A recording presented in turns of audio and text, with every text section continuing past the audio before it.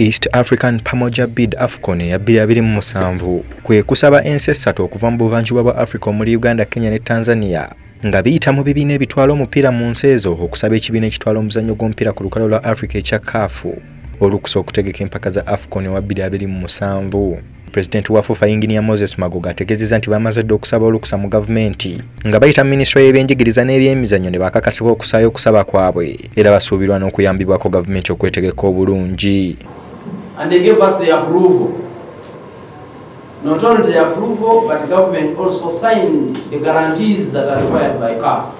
Seven different guarantees. So legally, the team submitted the documents and the bid was submitted. So was done for Kenya and Tanzania. Ayongeddeko nti kafe eri mu nteekateeka okujja wano mu ggwanga. Okulambula ebyetaagisa byonna omuli ebisaawe ne wooteeri era n'ategeeza nti nga biri mu mwenda omwezi guno abakungu okuva mu kaafu lwe bagenda okujja okwetegereza buli kimu. Bwe banaaba bavudde kenya ate bamalirize uganda baddeko tanzania. According to plan, arrive on the 28th and immediately start work until the 29th. From here they will leave Tanzania to do the inspection and the, Mr. Byamukama Rogers will be with the team in Tanzania. magoga agasseeko nti beetaaga obuwagizi bwa bannayuganda kuba singa empaka zikyazibwa wano kisobola okukyusa ebintu bingi omulina okwongera ku byenfuna by'eggwanga that this bid is for all of us.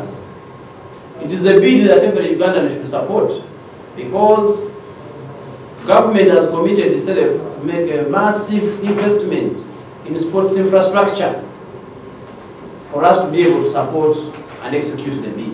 wadde nga waliwo ensi ezaateekayo dde okusaba kwazo okuli nigeria botswana algeria n'endala ebitundu by'obuvanjuba bwa africa birina enkizo ku nsi zino kuba etteeka liri ku ludda lwabwe kuba ensi ezo zonna zaali zitegeseeko apart from Botswana and us, we are the only ones that have never hosted. And the rules of CAF are very clear. The opportunity is given those who have never hosted. It's a rule. We also believe in our bid because it's only bid which is being supported by three federations and three heads of states.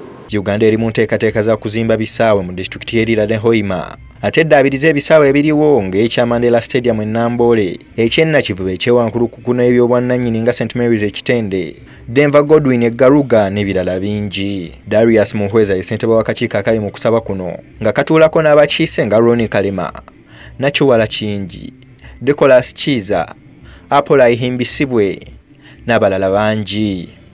Ibrahim sebonya delta tv amasukulumu